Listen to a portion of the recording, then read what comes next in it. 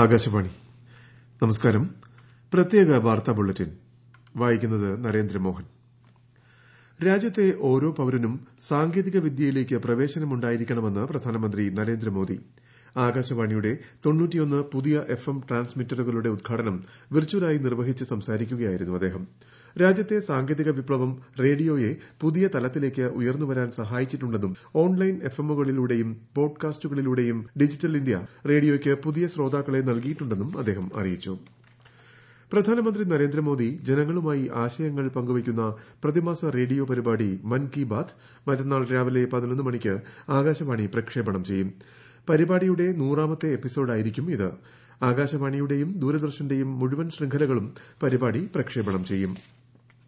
മൻ കി ബാത്തിന്റെ നൂറാം എപ്പിസോഡ് ആഘോഷിക്കുന്നതിനായി കേന്ദ്ര വാർത്താ വിതരണ പ്രക്ഷേപണ മന്ത്രാലയം മറ്റന്നാൾ കേരള രാജ്ഭവനിൽ പ്രത്യേക പരിപാടി സംഘടിപ്പിക്കും മൻ കി ബാത് അറ്റ് ഹൺഡ്രഡ് പരിപാടിയിൽ ഗവർണർ ആരിഫ് മുഹമ്മദ് ഖാൻ മുഖ്യാതിഥിയായി പങ്കെടുക്കും പരിപാടിയുടെ ഭാഗമായി നടക്കുന്ന പ്രത്യേക പ്രദർശനവും ഗവർണർ ഉദ്ഘാടനം ചെയ്യും കേന്ദ്ര സഹമന്ത്രി വി മുരളീധരൻ പത്മ അവാർഡ് ജേതാക്കൾ തുടങ്ങിയവർ പരിപാടിയിൽ പങ്കെടുക്കും തീവ്രവാദ പ്രവർത്തനങ്ങളും അതിന് പിന്തുണ നൽകുന്നതും മനുഷ്യരാശിക്കെതിരായ കുറ്റകൃത്യമാണെന്ന് രാജ്യരക്ഷാമന്ത്രി രാജ്നാഥ് സിംഗ് ഇന്ന് ന്യൂഡൽഹിയിൽ ഷാങ്ഹായ് കോ ഓപ്പറേഷൻ ഓർഗനൈസേഷൻ അംഗരാജ്യങ്ങളിലെ പ്രതിരോധ മന്ത്രിമാരെ അഭിസംബോധന ചെയ്യുകയായിരുന്നു അദ്ദേഹം തീവ്രവാദമെന്ന വിപത്തിനൊപ്പം സമാധാനം നിലനിർത്താനാവില്ലെന്നും മന്ത്രി വ്യക്തമാക്കി വരാനിരിക്കുന്ന യുഎഇ കോർപ്പറേറ്റ് നികുതി സംബന്ധിച്ച നാലാമത് സംയുക്ത യോഗം taxation society Indian business and professional council India club എന്നിവയുടെ ആഭിമുഖ്യത്തിൽ ദുബായിൽ സംഘടിപ്പിച്ചു നികുതി ഒഴിവ് ചെറുകിട സംരംഭങ്ങൾക്കുള്ള സഹായം തുടങ്ങിയവ ചർച്ചാ വിഷയമായി യുഎഇ യിലെ കോർപ്പറേറ്റ് നികുതിയിൽ അടുത്തിടെ പുറത്തിറക്കിയ പരിഷ്കാരങ്ങളെക്കുറിച്ച് യോഗത്തിൽ ചർച്ച ചെയ്തു ലോകത്തിലെ ആദ്യ റോബോട്ടിക് ചെക്ക് ഇൻ അസിസ്റ്റന്റിനെ അവതരിപ്പിച്ച് ദുബായിലെ എമിറേറ്റ്സ് വിമാന കമ്പനി പുതിയ സിറ്റി ചെക്ക് ആന്റ് ട്രാവൽ സ്റ്റോറിന്റെ ഭാഗമായാകും സാറ എന്നു പേരുള്ള പുതിയ റോബോട്ടിക് സംവിധാനം പ്രവർത്തിക്കുക സുഡാനിൽ നിന്നും ഇന്ത്യക്കാരെ ഒഴിപ്പിക്കുന്ന സുഡാൻ രക്ഷാദൌത്യമായ ഓപ്പറേഷൻ കാവേരി പുരോഗമിക്കുന്നു രണ്ട് വിമാനങ്ങളിലായി ഇന്ന് പേർ നാട്ടിലെത്തി ലേറെ ഇന്ത്യക്കാരെയാണ് ഓപ്പറേഷൻ കാവേരിയിലൂടെ ഇതിനകം സുഡാനിൽ നിന്നും ഒഴിപ്പിച്ചത് ഐ പി എൽ ക്രിക്കറ്റിൽ Lucknow super giants Punjab kings പോരാട്ടം പുരോഗമിക്കുന്നു ടോസ് നേടിയ പഞ്ചാബ് കിംഗ്സ് ബൌളിംഗ് തിരഞ്ഞെടുത്തു പഞ്ചാബിലെ മൊഹാലി സ്റ്റേഡിയത്തിലാണ് മത്സരം അന്തർദേശീയ ചെറുധാന്യ വർഷാഘോഷത്തിന്റെ ഭാഗമായി തിരുവനന്തപുരം ശ്രീകാര്യത്തെ കേന്ദ്ര കിഴങ്ങുവിള ഗവേഷണ സ്ഥാപനത്തിൽ ചെറുധാന്യ മ്യൂസിയം തുടങ്ങി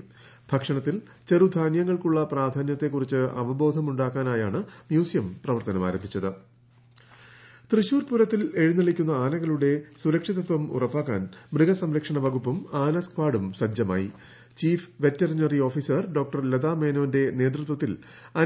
ഡോക്ടർമാരടങ്ങുന്ന സംഘമാണ് പരിശോധന നടത്തുന്നത് പൂരത്തോടനുബന്ധിച്ച് ആനകൾക്ക് അടിയന്തര ചികിത്സ ആവശ്യമായി വന്നാൽ നൽകാനുള്ള സൌകര്യവും മൃഗസംരക്ഷണ വകുപ്പ് തയ്യാറാക്കിയിട്ടു ് ലൈംഗിക അതിക്രമം നേരിട്ട വനിതാ ഗുസ്തി താരങ്ങളുടെ പ്രതികരണം അച്ചടക്കമില്ലായ്മയാണെന്ന Indian Olympic association president P T ഉഷയുടെ പരാമർശം ഖേദകരമാണെന്ന് മന്ത്രി ആർ ബിന്ദു കായിക മേഖലയടക്കമുള്ള പൊതുരംഗത്തേക്ക് ഏറെ പ്രയാസപ്പെട്ടാണ് പെൺകുട്ടികൾ കടന്നുവരുന്നതെന്നും ഇരകളാക്കപ്പെട്ടവർക്ക് നീതി ഉറപ്പാക്കേണ്ടതുണ്ടെന്നും മന്ത്രി പറഞ്ഞു ഇടുക്കി ശാന്തൻപാറ ചിന്നക്കനാൽ മേഖലയിൽ ഭീഷണി ഉയർത്തുന്ന കാട്ടാന അരിക്കൊമ്പനെ പിടികൂടാനുള്ള വനംവകുപ്പ് ദൌത്യം ഇന്നത്തേക്ക് നിർത്തിവച്ചു പുലർച്ചെയാണ് ദൌത്യം ആരംഭിച്ചത് അരിക്കൊമ്പനെ വൈകുന്നേരത്തോടെ ശങ്കരപാണ്ഡ്യമേട് ഭാഗത്ത് കണ്ടെത്തിയതായാണ് വിവരം ദൌത്യം നാളെ വീണ്ടും തുടരുമെന്ന് വനം വകുപ്പ് അറിയിച്ചു അഫ്ഗാനിസ്ഥാനിൽ ഐക്യരാഷ്ട്രസഭയുമായി ബന്ധപ്പെട്ട് പ്രവർത്തിക്കുന്നതിൽ നിന്നും അഫ്ഗാൻ വനിതകളെ വിലക്കിയ താലിബാൻ നടപടിയെ ഐക്യരാഷ്ട്ര രക്ഷാസമിതി ഐകകണ്ഠേന അപലപിച്ചു സ്ത്രീകളുടെയും കുട്ടികളുടെയും അവകാശങ്ങളെ ഹനിക്കുന്ന ഇത്തരം നടപടികളിൽ നിന്നും ഉടൻ പിന്നോട്ട് പോകണമെന്ന് രക്ഷാസമിതി താലിബാനോട് ആവശ്യപ്പെട്ടു തലസ്ഥാനമായ കീവ് ഉൾപ്പെടെ യുക്രൈനിൽ നടന്ന റഷ്യൻ വ്യോമാക്രമണത്തിൽ പേർ കൊല്ലപ്പെട്ടു മധ്യ യുക്രൈനിലെ ഡിനീപ്രോ ക്രെമൻചുക് പോൾട്ടാവ എന്നിവിടങ്ങളിലും തെക്ക് മൈക്കോളൈവിലും അർദ്ധരാത്രിക്ക് ശേഷം സ്ഫോടനങ്ങൾ നടന്നതായി മാധ്യമ റിപ്പോർട്ടുകൾ വ്യക്തമാക്കുന്നു ഇതിനിടെ റഷ്യ തൊടുത്തുവിട്ട ക്രൂയിസ് മിസൈലുകൾ തകർത്തതായി യുക്രൈൻ സൈന്യം അറിയിച്ചു